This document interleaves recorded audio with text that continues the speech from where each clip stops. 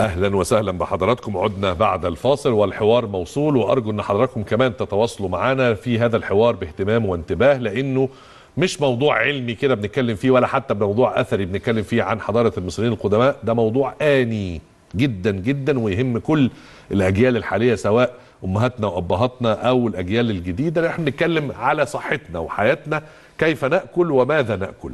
كنا توقفنا عند النقطة الأساسية اللي فتح بيها الحديث دكتور وسيم السيسي وهي متعلقة بأحد أهم النصائح بتاعه الحضارة المصرية القديمة في علوم التغذية وهي ألا تأكل ألا يعني أن لا تأكل إلا من غذاء أرضك.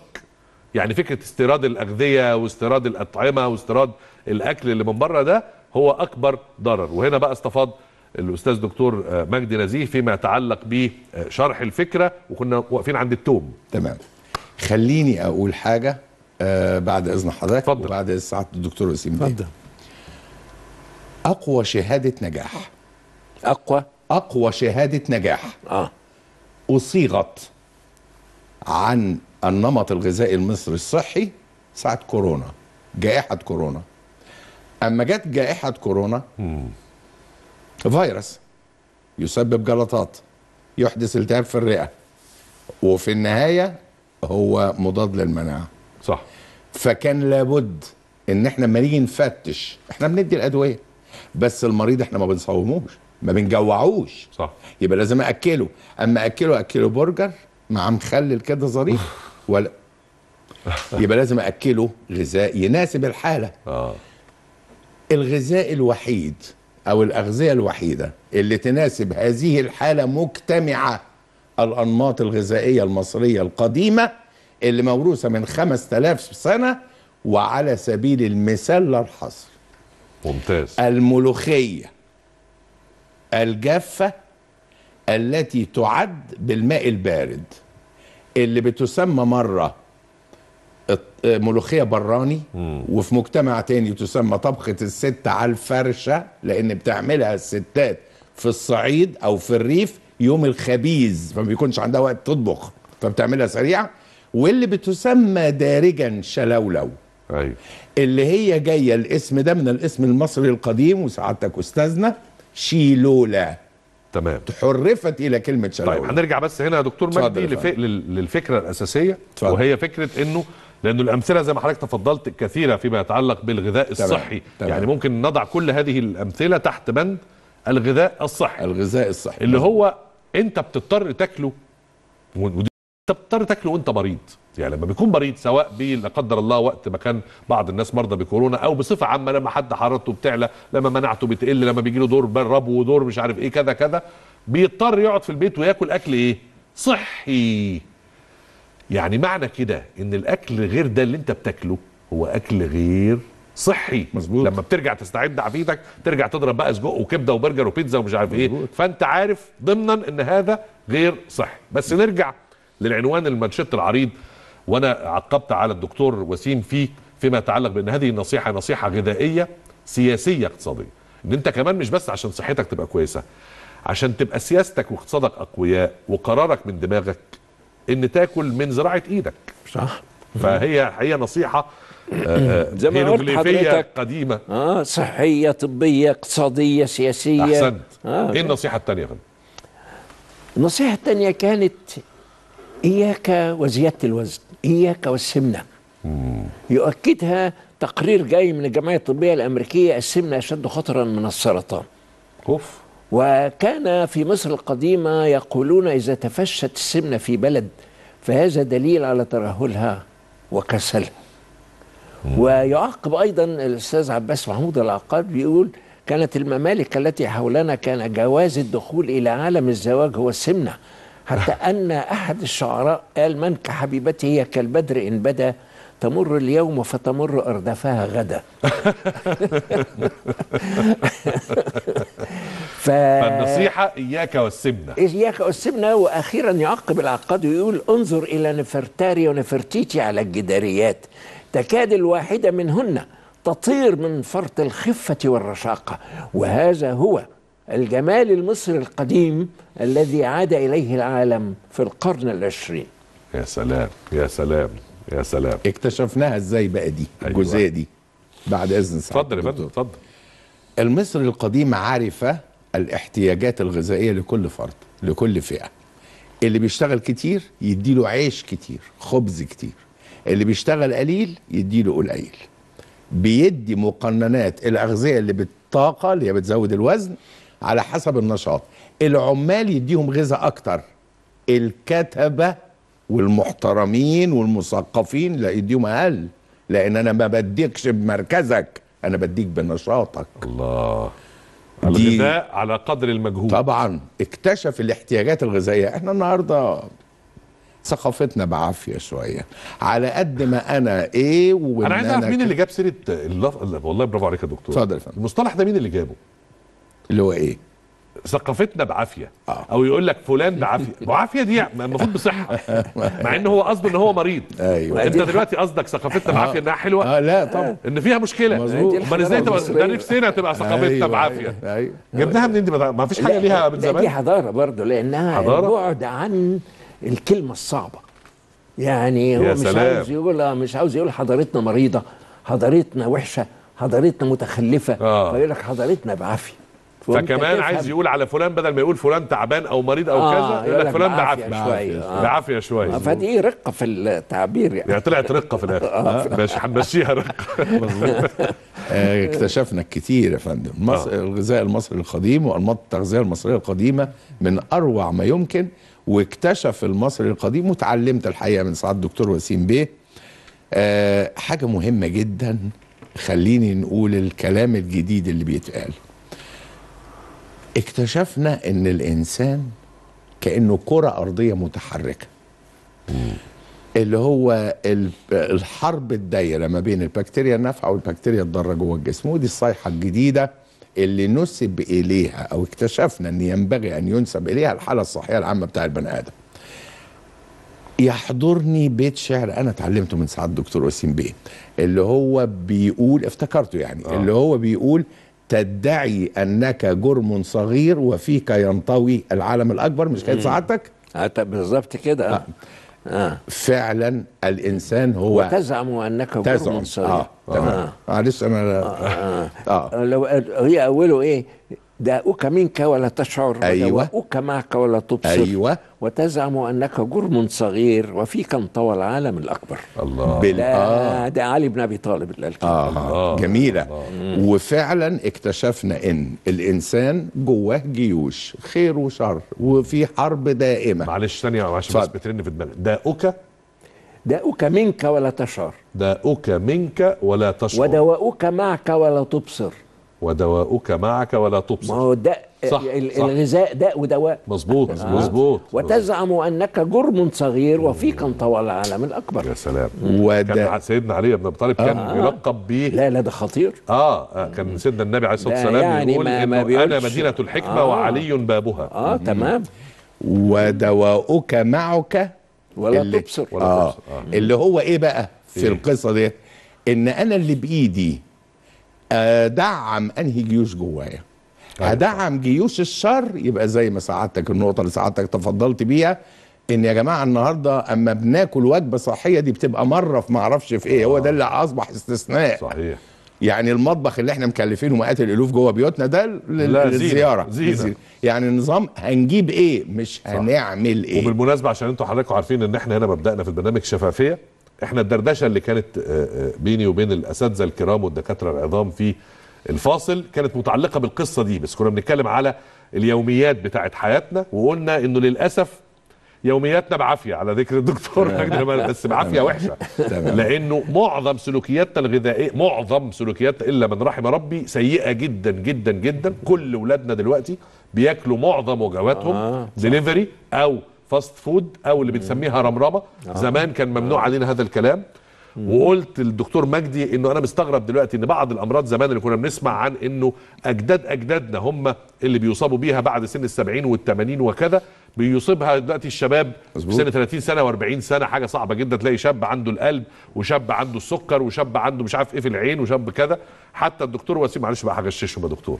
حتى الدكتور وسيم قال كارثة من كوارث البشر دلوقتي إن الشاب تلاقيه 25 سنة وبيلجأ إلى بعض المقويات سواء الجنسية أو الغذائية وكذا عشان يمارس حياته. حاجة ده هو. المفروض في ثورة شبابه. مظبوط. فكل ده نتيجة سوء ما نأكل. مظبوط. وتاكيدا لكلمة حضرتك رمرمة البيتزا نفسها آه. أصلها رمرمه واحدة ست ما لقتش حاجة عندها يعني تعملها. فجابت عيش وحطت عليه بقايا الطبيخ اللي كان عندها وحطتها في الفرن وطلعت. دي ال history of the pizza يا سلام. هي كانت أصلا رمرم وانتشرت صح صح صحيح. خلينا نأكد على جزئية الحرب بين البكتيريا النافعة والضارة. أنا اللي بإيدي أدعم البكتيريا النافعة أو أدعم الضارة. هدعم النافع إن أنا هاخد أغذية اللي بتسمى ال prebiotic. أول واحد اكتشف أغذية ال prebiotic اللي هي الأغذية الداعمة للبكتيريا النافعة المصري القديم. اكتشفها في المش. عمليات التخمير كلها. المش. المش. الفسيخ. يا لهوي. تخرج- بس يا دكتور بس يا دكتور لا انت كده بص. ده, لا يا ده دي دكتور. بريبيوتيك والنبي لما تكون وبروبيوتيك لما تكون بري انت بيوتيك حتى لا. والله في سماه آه، أنا كنت بحبك يا دكتور أنا كده زعلتني منك. انت جاي هنا في الحصن الحصين. أيوه يا فندم أيوة. لمحاربة الفسيخ بكل أنواعه. المش ما عنديش مشكلة فيه بس أنا عندي أيوة. مشكلة عشان أنا مريض ضغط أيوة. فالمش طبعا يوديني في داهية. لكن اوعى تسكن معلش في برنامجي معلش أنا آسف. يعني قول. قول المش تيت الملوحة. لكن الكلمة دي لا تذكر في هذا البرنامج أيوه أيوه. أرجوك. أيوة. لا okay. ده أنا عندي مشكلة مع الدكتور وسيم. شوف أيوة. أنا ببصم ورا كلامه. أيوة. العلمي كله. أيوه. بس عندي مشكلة وحيدة معاه. أيوه. إن أنا متأكد إنه حضارة المصريين القدماء مش معقولة توصلهم للفسيخ. مستحيل حد عبقري ياكل فسيخ. فأنا عندي مشكلة في التاريخ في الحكاية دي. لكن ما علينا. عدي دي. عدي نعد المهم النصيحة الثالثه آه النصيحة الثالثه عشان النصيحة. الثالثه إحنا قلنا واحد. لا تأكل إلا من أرضك. اردك اثنين إياك والسمنة. وال-. ثلاثة. الثلاثة بقى إياك والإكثار أو الإفراط في الخمر فإنك تصبح كالمجداف المكسور آه. المتأثر بالبيئة بتاعته. طبعا. مجداف. و وسوف يكون بيتك خاليا من الخبز. يا سلام. الخمرة ده. وناس فاهمة إن الخمرة اللي هي اللي هي بتسكر. في نوع منها اللي هي الحنكت اللي هي خدتها هولندا دلوقتي وسمتها هينكن لأن حنكت ده الاسم المصري القديم للبيرة. يا اللي هي مشروب آه، الشعير آه. إنما عرفنا إن هناك منها كانوا بيعملوا جزء منها زي البريل اللي موجودة دلوقتي بدون كحول كويس. ليه بقى؟ كانت تأخذ الأم لابنها في المدرسة آه حنكت اللي هي مية الشعير ده حلو. فيعني مش هتاخد له طبعا خمر حاجة هتعمل له دماغ آه المدرسة. رايح المدرسة طفل طبعا، يعني بتاع طبعا. فيبدو إن كان في نوعين حلو. إنما هم اللي عملوا الكحول اللي هو. اللي هي هنا يعني وعملوا إذا, است... النبيت. إذا استخلصنا هنا المعنى اللي هو الحفاظ على العقل آه. متيقظا وص... و... و... مظبوط. ومنتبها تصبح كالمجداف المكسور تمام وده نوع من أنواع تخمير الحبوب آه هم ال- المصري القديم اكتشف البوظة بس البوظة الأوريجينال مش الجديدة. تمام. اللي هي تخمير القمح. كويس. الشعير اللي هو البيرة الواين تخمير العنب. المصري القديم أصلا هو اللي عمل ده. حلو. اتنقل بعد كده هو كان للعالم. التخمير ساعتها من أجل الحفظ. آه ما طبعا طبعا. يعني عشان ما كانش فيه لا ثلاجات ولا. مخابز مش عارف طبعا. إيه. مظبوط. فكان التخمير من أجل حفظ هذه السلع. مظبوط ولتنمية البكتيريا النافعة. ولتنمية البكتيريا طبعا النافعه طبعا. تمام. طبعا. نفس القصة عندنا المخللات. آه. بتنمي البكتيريا النافعة بشرط أيوه. إنها ما يتحطلهاش خل وإن ما يتحطلهاش جرعة ملح إلا نسبة لا تزيد عن معلقة صغيرة لكل ربع لتر مية. ملح ما يزيدش عن كده. لا ده المخللاتية بإيه؟ ما ده غلط. بيدوا ملح على قد ما غلط. يقدروا. وما تدغليش عشان ما موتش البكتيريا النافعة اللي فيها. صحيح. والاصناف الخضروات التي تستخدم معلش تاني عشان في ستات بيوت كتير أيوة. سامعين حضرتك دلوقتي اتفضل. وعشان الأسعار غالية دلوقتي فمعظم البيوت أو الستات بتخلل في البيت أيوة. سواء زيتون أو. خيار أو جزر أو جميل. أو أو. فقول لنا معلش تاني التوصيات بتاعت التخليل غالية المية ماتت البكتيريا النافعة. يبقى ما نغليش. ما نغليش. انقي الخضار نمرة واحد. مش اللي قرب يبوظ مش اللي ملوش لازمة عندي آه. مش اللي بعافية. حلو. لا. أجيب الجزراية أقشرها كويس تكون جزريه كويسة الخيار نفس القصة وهكذا كله على ده ومعلقة ملح معلقة صغيره ملح لكل كوباية مية. وأكبس الكلام ده في برطمان نظيف ما يكونش بلاستيك يكون زجاجي. ما يكونش. ما يكونش بلاستيك يكون انت زجاجي بتصعبها يا دكتور. معلش. ماشي.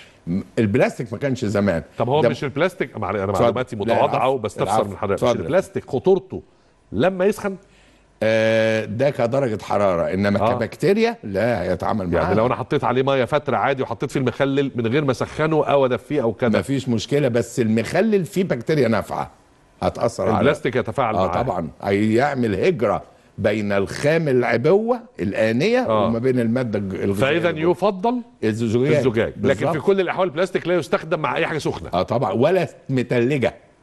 ولا متلجة. ولا متلجة. أنا عندي من خمسة إلى 60 درجة مئوية. لا لا أقل من كده ولا أعلى من كده. الله دي دي معلومة أول مرة أسمعها بصراحة. انه بيتفاعل لا، كمان. مع مع البكتيريا. البكتيريا الساعة مظبوط مظبوط. آه. ممتاز. مظبوط. إذا عملت المخلل أعمله. خضار نظيف. آه نسبة الملح معلقة صغيرة. معلقة صغيرة اللي بتبقى مليانة دي آه. آه. 10 جرام. 10 جرام نسبتها إلى ال 250 أو 240 ملي لتر تقريبا من 8 إلى 9% دي معدل التمليح الآمن وأغطس كل الخضروات. معلش أنا آسف. اتفضل. بعد كل ده ونقلل ال- الملح ومفيش خل. أي. المخلل يبقى طعمه حلو. جدا بس بشرط. إيه؟ ياخد وقته. ما اجيش أقول اصل أنا خلال يومين عايز اكل منه. لا مفيش كده. لا ما خلاني أروح اشتري لو كده اليومين براحته. آه بالظبط. إنما ياخد له 10 12 15 يوم ياخد وقته صح. ياخد راحته. بشرط إنه يكون غاطس شطة تمام؟ جوه آه شغال زي الفل. شطة. 100 100 تمام زي بشرط إنه يكون غاطس جوه المية. لو علي فوق المية هيعمل الخماير اللي لونها أبيض. الريم ده. الريم. آه. فانا اغطس جوه الميه طب هعرف اغطس جوه الميه إزاي نحط مش عارف كيس إيه وطبق إيه لا, لا، لا. ببساطة آه. شديدة ورقة كرنب احشرها هتضغط تحت وهتبقى محشورة مش هتخلي لي أي خضروات. تعب خلصت لا في فكرة كده. الحشر دي ستات البيوت ع- ما تقلقش عارفين. قوي يعني هم okay. يحشرونا إحنا مش هيحشروا المخلل بالظبط. طيب نرجع هنا يا دكتور تاني نرجع بقى استخدام التغذية في تشخيص الأمراض آه فكانوا يستخدمون التوم في معرفة الزوجة إذا تأخرت في الحمل. وهم يعرفون أن التوم فيه زيوت طيارة. الزوجة إذا تأخرت في تأخرت في الحمل. عاقر يعني آه. فهو عاوز يعرف أنابيب فلوب سالكة ولا لأ. فهو كان يعرف أن التوم فيه زيوت طيارة. فكان يضع التوم مهبليا. ويجي بعد 12 ساعة يشم رائحة التنفس لهذه السيدة فإذا كانت أنابيب فلوب سالكة الزيوت الطيارة تطلع من أنابيب فلوب للدورة الدموية الدورة الدموية الجسم يطردها عن طريق التنفس. فإذا شم رائحة التوم في التنفس يقول لهم سوف تنجب. لأن أما القو- إذا لم يج... الأنابيب سالكة اللي إحنا بنعملها. دلوقتي بالصبغة. صح. اللي هي الليبيدول آه. هو عرف. ولما الدكتور محمد فياض في مؤتمر سنغافور ذكر الطريقة دهيا كان تعليق جرينر ميتاج رئيس الجلسة هل هذا يدل دلالة واضحة على دراية المصريين القدماء بدقائق الجسم البشري؟ فكان رد الدكتور فياض هذا بسبب التحنيط لأن هو بيحنط عرف دقائق الجسم البشري. طبعا. وعرف إن الأنابيب إذا كانت مسدودة لا تنجب وانها إذا كانت سالكة يعني لو شم. نفسها وما لقاش ريحه توم يبقى الق... الانابيب يبقى الأنابيب مسدودة مسدودة يبقى مش هتنجب آه الألس... الاليسين الزيوت أوكي. الطيارة ما راحتش يا سلام فكان ال... ال... بعد كده إذا حملت وعاوز يعرف بقى هو عاوز يعرف اللي جاي جنين ذكر ام اللي هو. السونار اللي اللي هو السونار دلوقتي اللي هو السونار دلوقتي آه. القمح والشعير فكان يجيب البول بتاعها ويحطه. فإذا القمح نما يبقى هيجيب ولد. إذا الشعير نما يبقى هيجيب بن بنت. دكتور آه، أحمد عمار أستاذ النساء والتوليد ودي, ودي في نفعت؟ ما هقول لك أهو. أحمد عمار جربها بقى أستاذ النساء والتوليد. آه. ومعاه بول غاليونج. اللي هو أستاذ آه، ال endocrinology طبعا. برضه زميل. جابوا ثلاث أنواع من البول. بول رجالة وبول ستات غير حوامل وبول ستات حوامل. لم يحدث إنبات على على القمح والشعير لم يحدث إنبات في بول الرجال أو الستات الغير حوامل وحدث إنبات بنسبة 69% بول الستات الحوامل لكن ما قدروش يفرقوا إذا كان القادم ذكر أم أنثى وفي تفسيرهم إن التربة اتغيرت الكيماوي دخل عليها آه،. بذور القمح اتغيرت كل الحاجات مفهوم، دهيا مفهوم. فكانوا يستخدمون هذا لتشخيص الجنين القادم التالتة. الحاجة التالتة بقى كانت السبانخ عصيدة السبانخ. لما كان يبقى واحد عنده بهاء هو ما عاوز يعرف. إذا كان ده نتيجة المادة السمراء اللي إحنا بنسميها دلوقتي الميلانين هي اللي ناقصة ولا هي أمراض أخرى هي السبب فكان يجيب العصيدة دهيا ويحطها على الحتة البيضاء ويعرضها للشمس. هذه العصيدة تعمل تركيز للأشعة الكونية. فتجيب المادة السمراء وتحطها وتسمر الحتة دهيا. نتيجة عصيدة السبانخ دهيا والسبانخ طبعا الدكتور مجدي. يقول لنا إن فيها حديد والحديد ممكن يكون يعني يقدر يفسر لنا الحتة دهيا طبعا طبعا. فده في. التشخيص.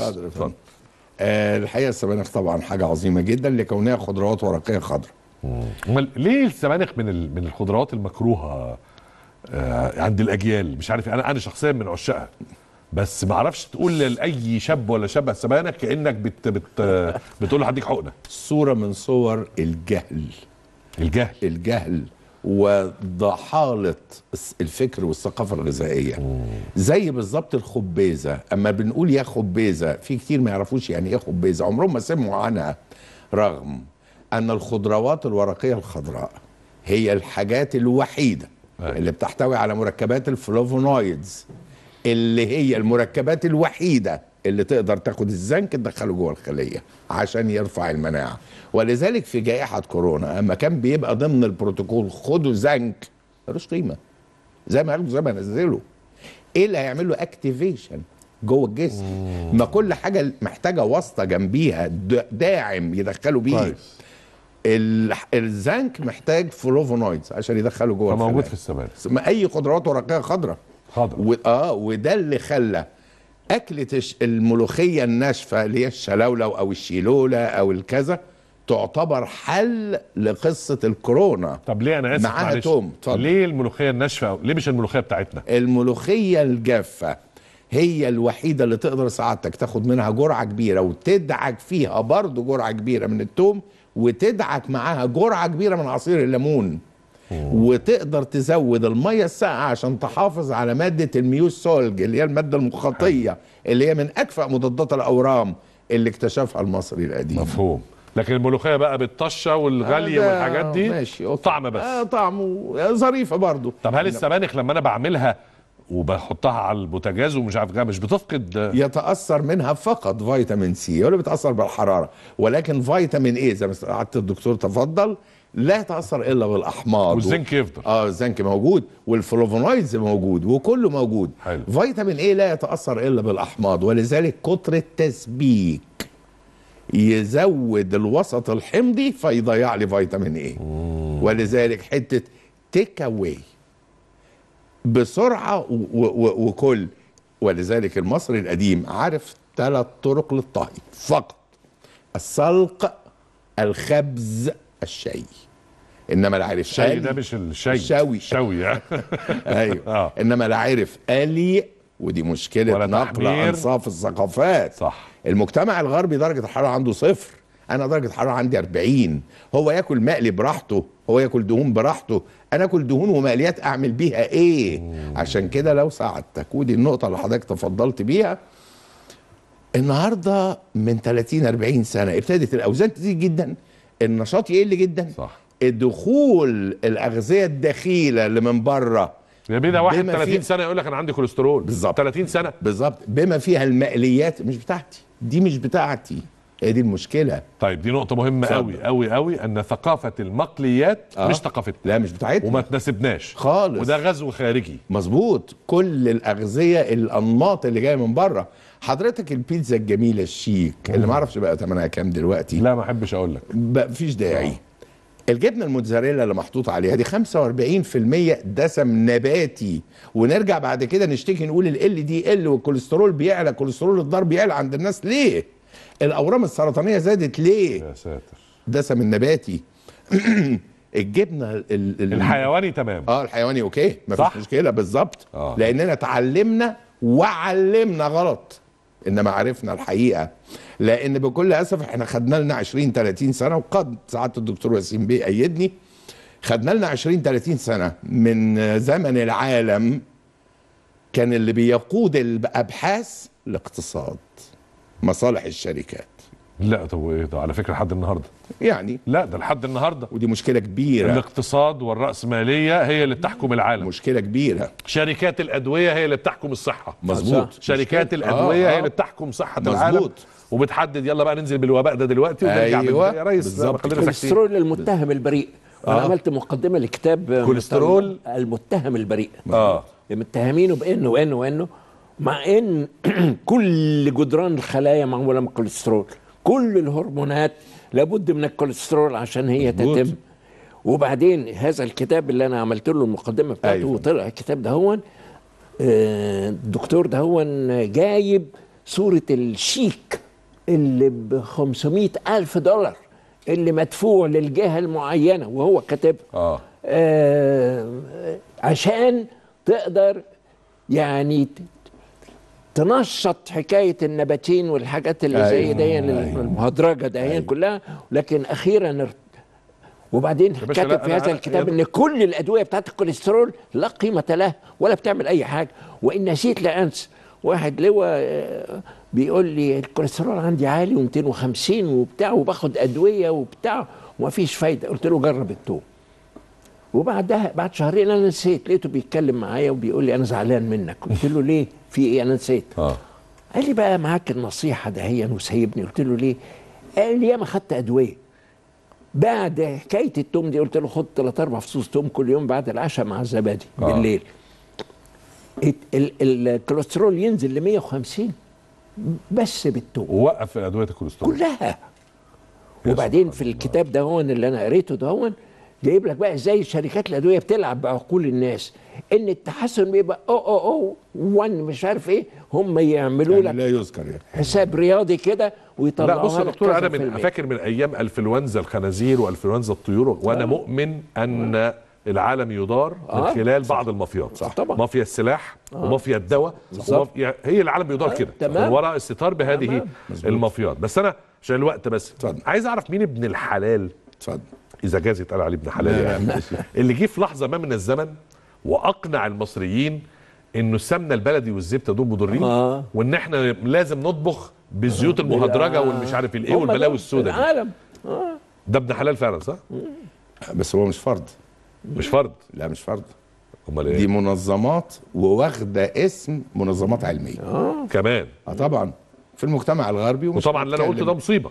طبعا. دي كارثة. والسمنه البلدي أنا من زمان يا. دكتور وأنا مش فاهم ليه زمان مش عارف إيه جت في فترة كده قال لك نهار 50. أسود ابعدي عن السمنة البلدي دي كلها مش عارف 50. إيه عن الزبدة دي كلها إيه الناس الصحية الشيك المحترمة اللي تطبخ بالزيت والمش عارف إيه. ده بالعكس بالعكس ده كل ده مصالح شركات. مصالح خلينا نقول إن الزيت فيه مجموعة أوميجا 6 حلو. غير أوميجا 3 أوميجا 6 دي بتعجز بتعجز الخلايا تخلي ال- الش... الشيء الشيب آه. والعجز والوهن يدب في الخلية منشأ لكتير من الأورام الناس فاهمة غلط الزيت الوحيد المستثنى هو زيت طب إزاي ما الزيتون. بتقولوش معلش بقى يا دكتور لازم يا لا والله لا. لا بيتقال؟ بيتقال لا بيتقال ده أنا لولا إن أنا طرحتها دلوقتي يمكن الكلام ده أصبح خلاص مسكوت عنه عقود. مشكلة كبيرة. ده لازم كل يوم تطلعوا تقولوا الكلام ده لأنه في جريمة بتحصل في كل بيت كل يوم. وللأسف أنت عارف يعني نسبة الثقافة مش مش منتشرة قوي عند كل الستات المصرية. هي طبعا واعية بالفطرة وكذا لكن الثقافة العلمية كذا. فمن ساعة ما سمعت إن اوعى تطبخي بالسمنة أوعى تطبخي بالزبدة ومش عارف كذا رمت الحاجات دي كلها وبقت تطبخ بالزيوت المهدرجة اللي هي مصيبة. وفي صحيح أنا جدي كان بيشرب السمنة سك ما كده. فيهاش كوليسترول. ومات 97 سنة وكان يفوت في دراعه في الحيطة يعدي. اللهم تعليقا على على يعني. إن كلام سعاده الدكتور وسيم بالسمنة ما فيهاش كوليسترول. الزبدة فيها شوية كوليسترول أما بنسيحها بتنزل المورتا المورتا جاية من الكلمة الإيطالي morto يعني بس ميت. حتى لو فيها كوليسترول مش الزبدة دي جاية من حيواني. بالظبط. يبقى حتى الدهن بتاعها مفيد. ومحتاج محتاجينها. آه. آه. محتاجينها. كارثة الكوارث الجديدة اللي موجودة النهارده وشد أذهان الناس أختم بيها عشان. وقت سعادتك اتفضل يا فندم. بدائل اللبن. آه. أنا لا لبن فول الصويا. فول الصويا مليان استروجين هرمون إنثوي. نرجع بعد كده نشتكي نقول الفياجرا مش هرمون إنثوي؟ آه طبعا. أسود. طبعا. ده ده الصويا. لبن فول صويا لبن لوز لبن جوز هند. هو أنا عايز من اللبن إيه؟ لونه؟ أنا عايز ال components بتاعته. مكونات مكوناته.